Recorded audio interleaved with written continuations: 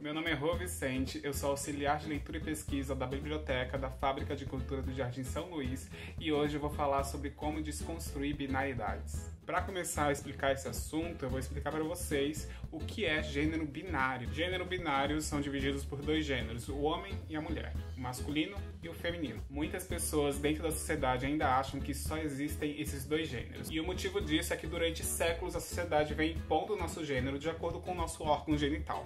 Ou seja, se você nasceu de pênis, você é um homem, se você nasceu de vagina, você é uma mulher. Mas na verdade, o nosso gênero é muito além do que só o nosso órgão genital. É a forma que a gente se expressa, é a forma que a gente se veste, é a forma que a gente fala.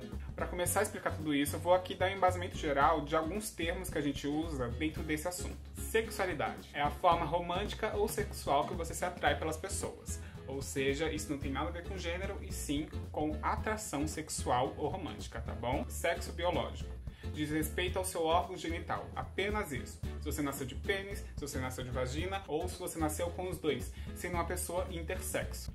Expressão de gênero é a forma que você expressa o seu gênero dentro da sociedade, seja pela sua voz, pela sua roupa, pelos seus costumes, etc. Qualquer forma de expressão de gênero é válida. E chegamos à identidade de gênero, que é o assunto deste vídeo. Se refere ao gênero que você se identifica, seja ele homem, mulher ou tantos outros gêneros que existem dentro dessa sociedade. Explicado tudo isso, esse vídeo eu vou falar sobre os gêneros não binários, que é para que a gente possa desconstruir a binariedade que foi nos imposta desde o momento que a gente nasceu, que são gêneros que ultrapassam o feminino e o masculino, o homem e a mulher. Não binariedade é um termo guarda-chuva para todos os gêneros que fogem dos, dos, padrões de gêneros binários, ou seja, pessoas que não são 100% mulher e nem 100% homem. Dentro desse campo da não binariedade, a gente tem diversas identidades de gêneros, como por exemplo, gêneros que são pessoas que não se encaixam em um gênero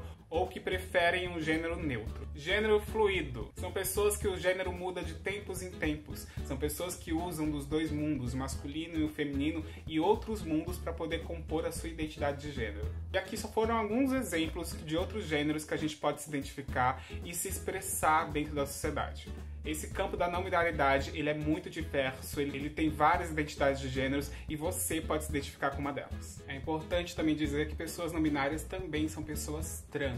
A gente separa as pessoas por dois termos, pessoas cisgêneras e pessoas trans. Pessoas cis são aquelas pessoas que se identificam com aquele gênero que foi imposto assim que ela nasceu. E pessoas trans são pessoas que não se identificam com o gênero que lhe foi imposto no seu nascimento. E dentro dessas pessoas trans, a gente tem três termos: travestis, que são mulheres travestis, transexuais, que são pessoas que fazem uma transição para o gênero oposto ou para algum outro gênero, e os transgêneros, que é aí onde cabem as pessoas não binárias. Abrange esses gêneros que eu já falei aqui, tantos outros que ainda existem dentro do nosso mundo. E que ainda vão existir, porque gênero é uma coisa fluida. E eu tenho certeza que cada dia mais vai existir mais e mais gêneros para que a gente possa se identificar. O importante é entender que nós somos múltiplos e nós podemos ser muito mais do que apenas homem e mulher.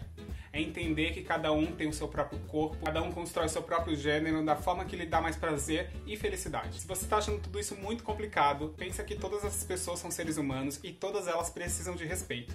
Portanto, sempre pergunte para a pessoa como ela prefere ser chamada e qual é o gênero que ela se identifica. É isso, esse mundo é muito grande, tem pessoas muito diferentes de você e essa é a graça de viver. Até a próxima. Acompanhe ainda aqui a programação da biblioteca e das fábricas de cultura. Beijo. Os humanos deviam ser mais como um bicho, né? Ah, tá tudo resolvido, cara. Cada um tem seu gênero e ponto. Acabou. Que coisa. Tchau.